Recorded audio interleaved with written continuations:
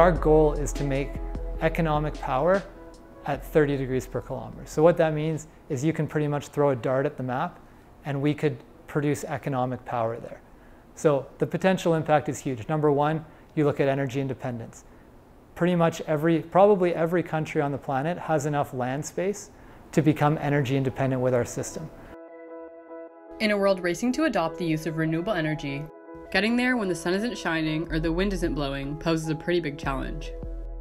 Finding a reliable and always on renewable solution to supplement these other sources of clean energy is key.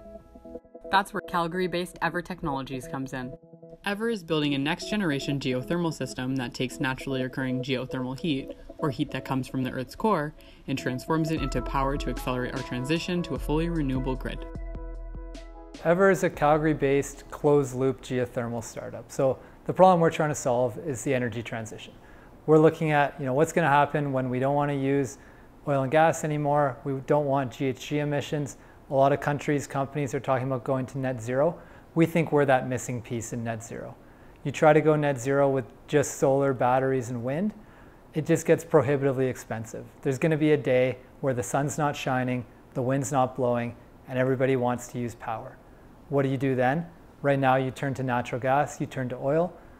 The benefit of Eavor is that we can operate as baseload or dispatchable. So we can produce power on demand, so we can ramp back when the sun's shining, power is cheap, ramp up in the evening when people need it, and we produce 24 7, 365. What our technology is, is picture like a giant underground radiator.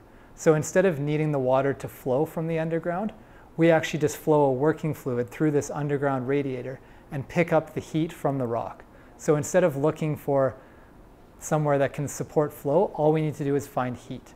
And heat is a lot easier to find than permeability. So we like to say that geothermal is looking for the needle in the haystack we're looking for the haystack trying to avoid the needle. You know, we have 30 people about here who are all focused on our problem. We're not experts in everything. A lot of us come from an oil and gas background, so we have that subsurface expertise, drilling expertise, heat transfer expertise. But wh where we really use academia is to access other expertise. So when we have a problem that you know we either know just know enough to be dangerous but don't know how to do everything ourselves, we can reach out to academia, get them to do some draw up a scope of work and get more smart people thinking about our problems. There are companies uh, looking for technical experts and in need of financial resources. And then there are researchers that would love to connect with industry. And, and then there are and then there are resources. So the pieces are there. We have to connect them, right? And so I feel like a connector in a way. I was like, I know everything is there. I just have to do this work of connecting the dots. We need to be good steward of resources that we've been given to help our country uh, um, become more innovative. And so I, I feel, in a way, sometimes I feel a little bit responsible for this. So I feel like I've been given a mission. We say, hey, we have a problem. We, they can help us connect with, oh, there's these experts in academia that can really help you. The other one is just the financial benefit. So it really helps us amplify our dollar and we can access world-class academic resources within our means. We are still a startup, you know, we're pre-revenue, so we're, we're burning cash, and anything, any little bit helps.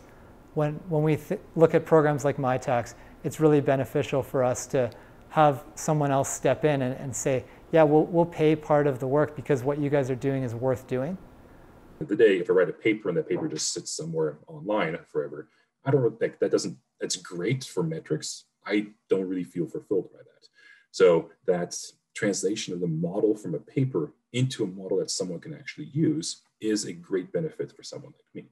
And additionally, that guidance from the company that says this is a particular challenge, that is something that I know I can spend my time on rather than spending years on something and the company just says, oh, we figured that out a decade ago, move on, please.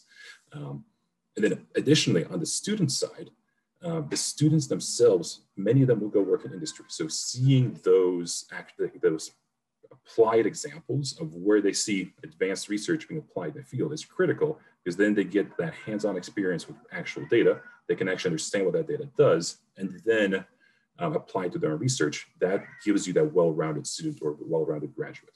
The model chooses to build Eavor-Loop. It's saying, hey, if I go in and build this instead of more solar, instead of more wind, instead of natural gas with CCS, it's saving the, the end user money. And so what that ultimate potential is, is we can help countries achieve energy independence, we can help countries reach net zero for cheaper, uh, and we can do it pretty much anywhere.